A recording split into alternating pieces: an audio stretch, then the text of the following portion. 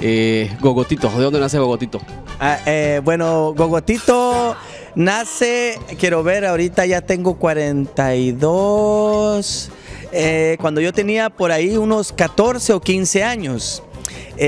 Antes yo me llamaba de otra forma, pero mi papá fue el que me puso ese nombre, me puso Gogotito, porque era un payaso que él conoció cuando era artista, cuando, ah, cuando andaba por allá por Sudamérica. Era un payaso chileno que se llamaba Gogotito, era muy bueno. Entonces cuando él regresó a Guatemala, me puso este nombre, ¿verdad? Desde ahí soy yo así. Gogotito. La primera función de Gogotito, ¿cómo fue? La primera función. Ulurún, ya ni me acuerdo, quiero ver. Yo estaba muy chico, sí, estaba muy pequeño, pero de Gogotito, de Gogotito, me acuerdo, quiero ver. eh, bueno, yo ya era payaso, yo ya era payaso. eh, cuando nació Gogotito, yo ya, había, yo ya tenía por ahí unos 5 o 6 años de ser payaso, si no más. Eh, y alegre, ¿verdad? Con otro nombre y todo. Y cuando comencé, en verdad, yo comencé haciendo actos de circo. Yo tenía, desde los 10 años, yo hago actos de circo. Hacía un acto junto con mi hermana que en el trapecio. Después, cuando ya tuve 13 años, eh, ya tenía armado otro acto. Y bueno, cuando empecé en la comicidad, yo ya tenía actos como la cama elástica, alambre, trapecio, parada de manos, equilibrista. Yo hacía como cinco o seis cosas, pero no era payaso, ¿verdad? Entonces, ahí sí que por necesidad, por decirlo así, yo no me creía que yo podía ser payaso y se fueron del circo todos los payasos. Así, de repente, no sé qué pasó en el circo, yo estaba muy chico y de repente se fueron y mi papá me dijo, mijo, se tiene que pintar. Usted ya conoce cómo son las entradas cómicas, ya las ha visto, así que píntese la cara, póngase una peluca, una nariz y sale a trabajar. Y todo nervioso yo, ¿verdad? Yo no sabía ni qué hacer, qué es lo que vamos a hacer. Y iba a preguntarme ahí con mi papá y con mi tío. Al final que fue un caos porque se me trababa la lengua, me quedaba parado en una esquinita, no quería que nadie me viera y así comencé yo, pero todo chiviado, sí, todo chiviado, pues aparte en ese tiempo, ¿verdad? Le salen, le, le salen las noviecitas a uno, ya vienen las noviecitas, entonces uno se empieza a maquillar todo para, dizque para que no lo reconozcan a uno, pero es mentira, sí lo reconocen a uno siempre.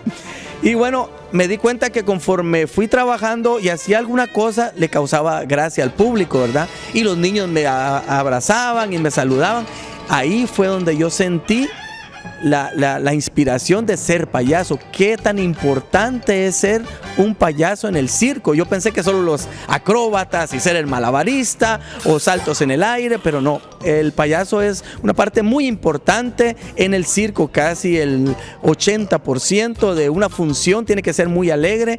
Y por eso a mí, yo, yo más me dediqué más después a la comicidad ya dejé a un lado lo acróbata y todo eso y ya me concentré más en mi, en mi personaje, ¿verdad? En mi maquillaje, la peluca, qué tipo de peluca, qué tipo de vestuario y así fue como comencé poco a poco hasta este momento, ¿verdad? Bueno, hablemos un poquito de las vivencias adentro de lo que es eh, el circo. ¿Cuáles son las vivencias más tristes o significativas en la vida de un payaso?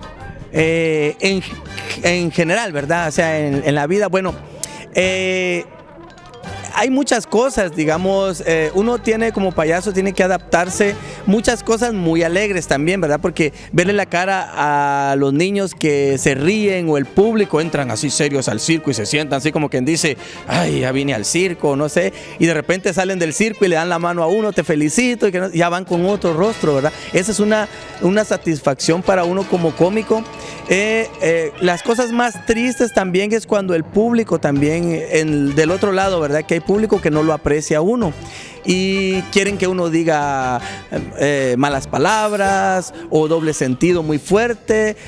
Y yo la verdad no puedo hacer eso. Entonces ellos, eso es lo que a mí me da como tristeza, ¿verdad? Que el que hay público que no aprecie y que no respalde al artista nacional.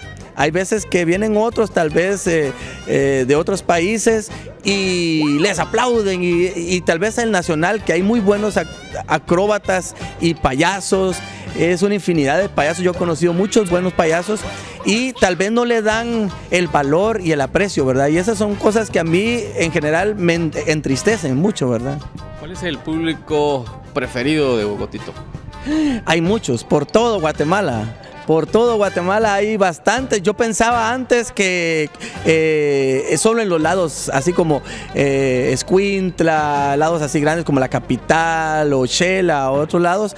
Eh, solo ese público apreciaba el circo, ¿verdad? Pero no, nos hemos ido también, como decir, por ejemplo, Tiquizate es una, hoy en día Tiquizate para nosotros es una, un, lugar muy alegre, nos conocen ya bastante y desde la página nos están va de mensajear, nos están va a decir que cuando llegamos a Tiquizate, la nueva concepción también.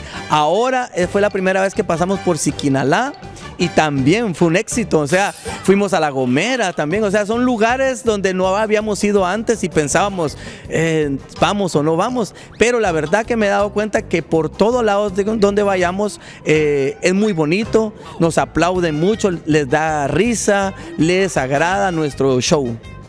Bueno, eh, hay cogotito para mucho más tiempo.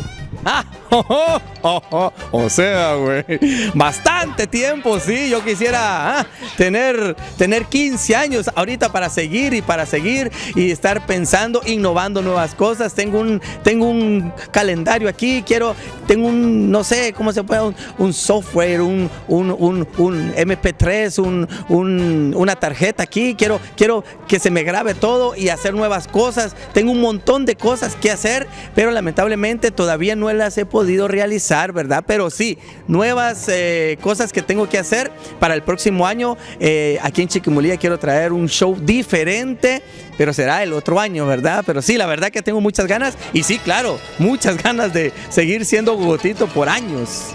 Ok, para la gente que quiera seguir a ustedes en las redes sociales, ¿cómo, cómo aparecen ustedes?